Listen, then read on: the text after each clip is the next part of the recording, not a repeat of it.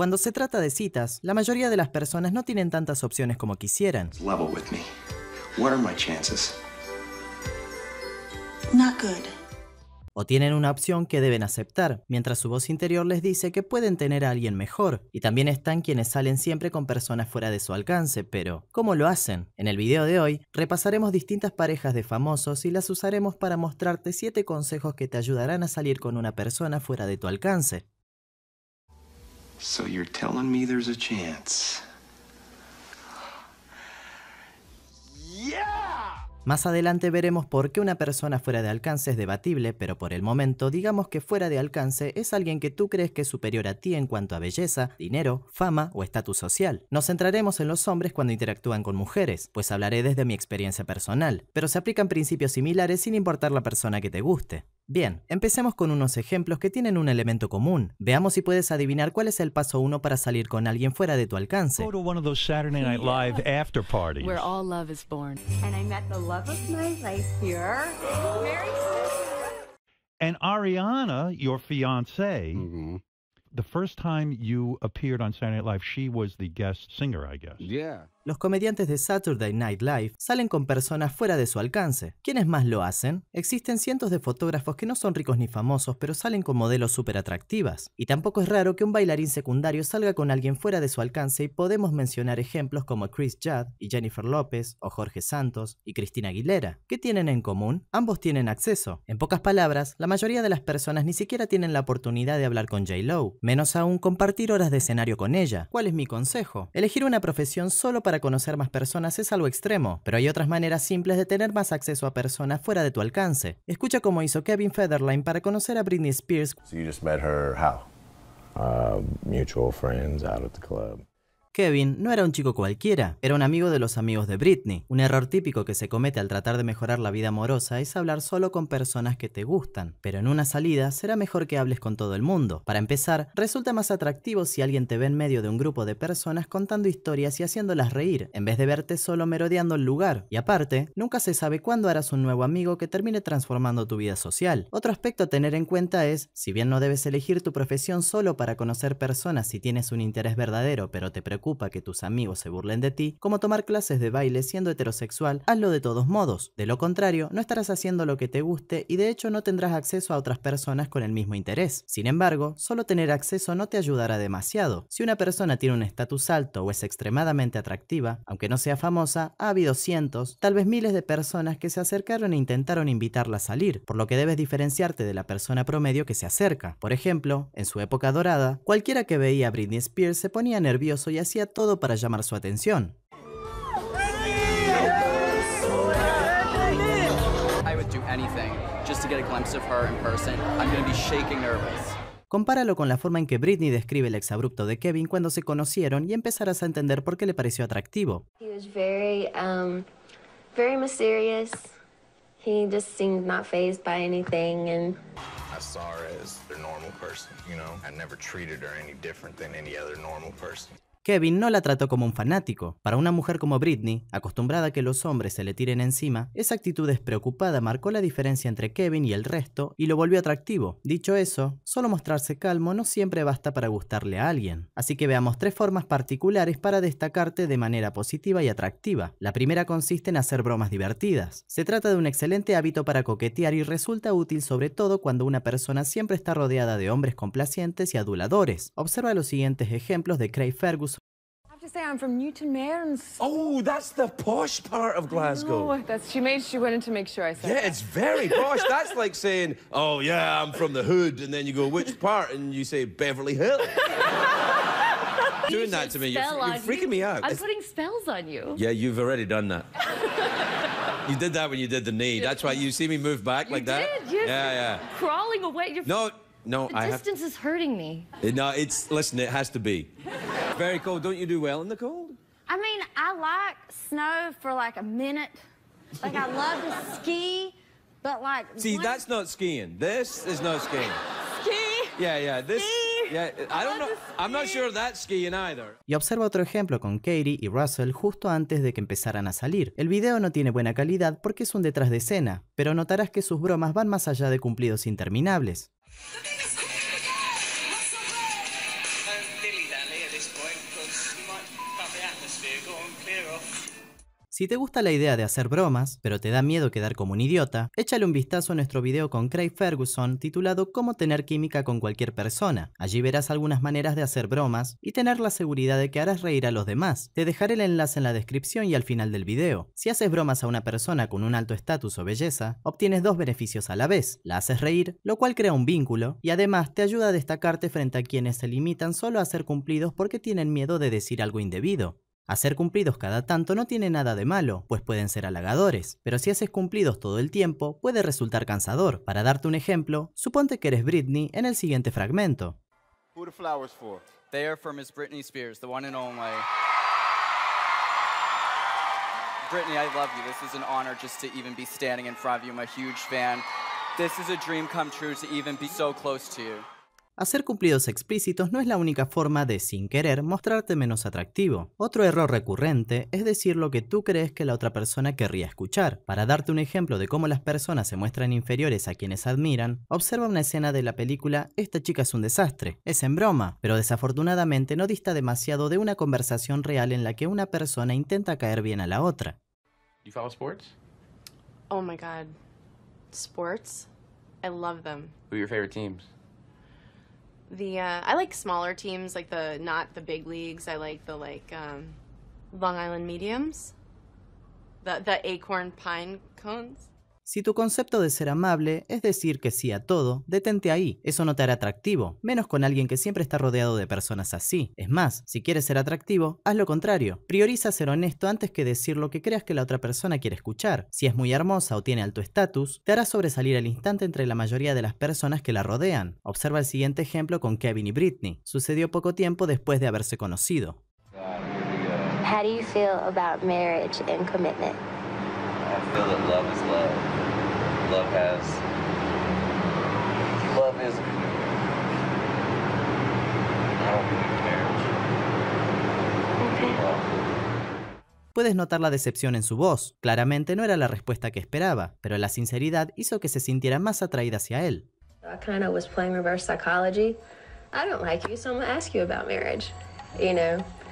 So I think that's why I probably did all that, which really screwed me because I ended up falling for him even more. So. Resultó doblemente atractivo porque además de ser sincero, lo convierte en un desafío. Coquetear con alguien que se resiste puede resultarle interesante a una persona acostumbrada a tener a todo el mundo a sus pies. La mayoría de las personas meten la pata sobre todo cuando hacen lo contrario y están a disposición en todo momento. Si quieres ser atractivo, no trates a alguien que acabas de conocer como si fuera lo mejor de tu vida. Es un ejemplo algo extremo, pero fíjate cómo Jason Sudeikis conquistó a Olivia Wilde no mostrando el fuerte interés repentino que la mayoría de los hombres tenían por ella en ese momento.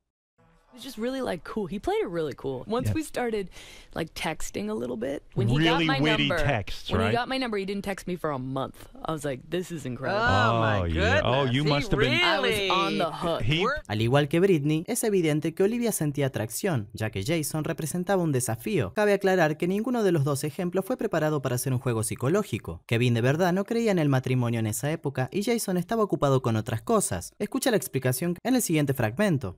I just didn't make any sort of um, moves. You know, I and I and and and, Is that the trick? That well, Show no interest? yeah, no, just don't. I, I think so. You hear that sometimes. Yeah. But all I did was like I was just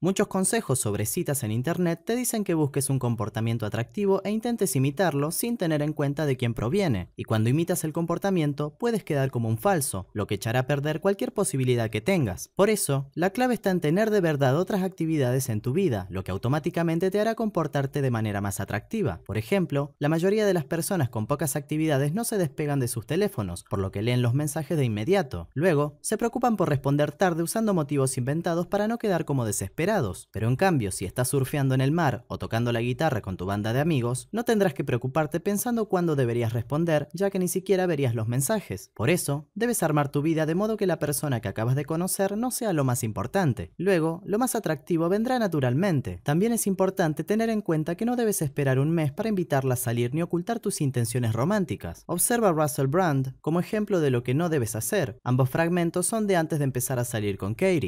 I'm supposed to say that music is the real winner tonight, but Katy Perry didn't win an award and she's staying at the same hotel as me. So she's going to need a shoulder to cry on. So in a way, I'm the real winner tonight. Thank you very much. Actually, this is a, a- an item that I like to call flimsily veiled excuse to chat up a woman by getting her on the radio show, and you're in the middle of that now.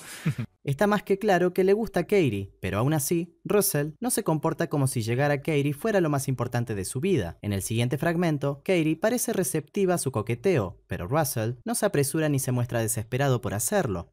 Word as together. Okay. Boys. I know. You rambunctious boys over there.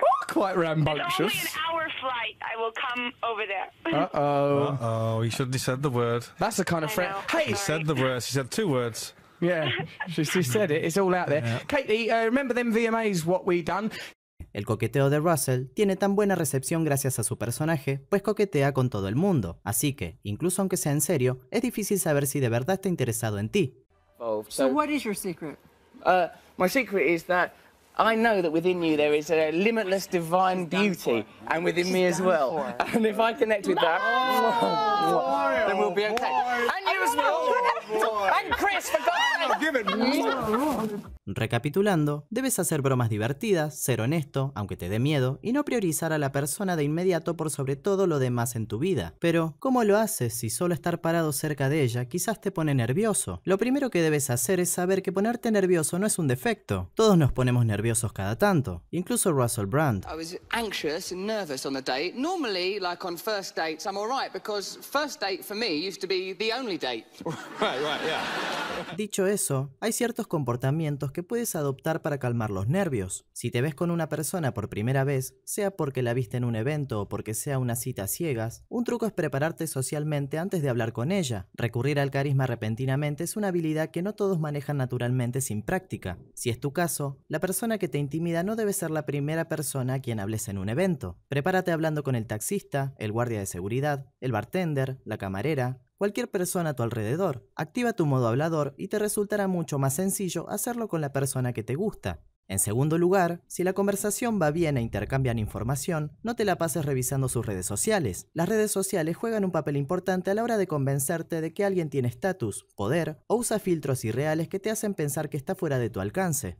Y en tercer lugar, básate en estándares que vayan más allá de la fama, el dinero o la belleza. La voz interior promedio de una persona que habla con alguien que le gusta susurra, espero gustarle. Basarte en estándares significa que parte de la conversación tiene la función de ver si la otra persona te gusta a ti. Te sentirás más confiado al instante cuando dejes de ver una conversación como una prueba unilateral. Eso calmará tus nervios y te hará parecer más atractivo. También te ayudará a evitar relaciones que a la larga no te harán feliz. La pregunta que debes hacerte ahora es, ¿qué características debe tener una persona para ser parte de mi vida si no tiene estatus, dinero o belleza? Luego, no debes permitir que una persona entre a tu vida si no tiene esas características, independientemente de su estatus, dinero o belleza. Algo que será muy útil es darte cuenta de que, al final de cuentas, salir con alguien fuera de tu alcance no es una buena meta. A menudo, establecer esa meta es producto de la inseguridad. Una buena forma de saberlo es preguntarte si cuando piensas en salir con una persona, piensas cómo disfrutarías su compañía, o más bien te preguntas, ¿cómo te verías o cómo te verían otras personas? No tiene nada de malo salir con una persona hermosa, rica o famosa, pero si priorizas salir con alguien fuera de tu alcance en vez de salir con alguien que te trata bien, no serás feliz.